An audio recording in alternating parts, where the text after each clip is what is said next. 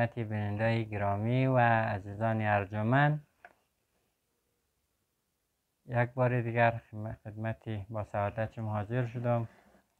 بیننده عزیز توفی ایدی داشتم که باید در جریان اید خدمت شما تقدیم می‌کردم اما متاسفانه مریض شدم. اون خیلی سخت.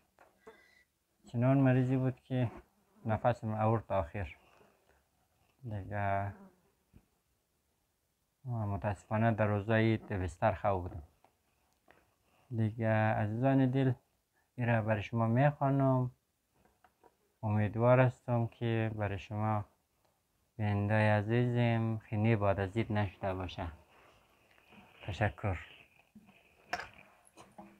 تنها گفتن نمانه که شعرم از یکی از بیننده گرامی از من که برای من روان کرده که رو بخوانم برش